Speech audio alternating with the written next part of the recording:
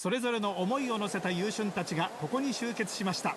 用意された舞台を駆け抜け頂点に立つのはどの馬かいよいよ発走です。スタートしました。ポンと飛び出したのは正門。綺麗なスタートを切りました。ダッシュよく飛び出して正門。鼻に立ちます。その後ろからはユリーシャ。この馬も上がっていく構えです。さらにはランス・オブ・サウンド。18番ティーニア。その後ろ先手を取ったのはユリーシャ。大きく離れました。大番号の前その外からヤプシーマン。内からは東方ガレオン。黄色の帽子。競泳ブリッサその後ろシルバーデュー。そのうちに続いています。これに続いてナゴーナその外にマルチャンその隣にドクタードリトル。すぐ隣にスカイロケット。ここまでほぼ平均ペース展開への影響はなさそうです。先頭は依然としてユリーシャショーモン。ほとんど差がありません。間を挟んでランス・オブ・サウンド。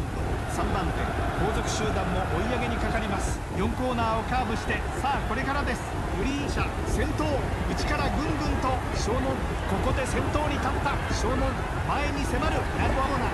残り 200m を通過して先頭は変わってラグアオナ。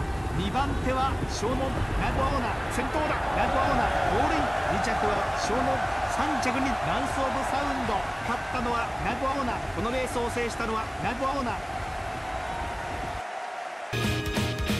闇に響くことをとはを感じていた。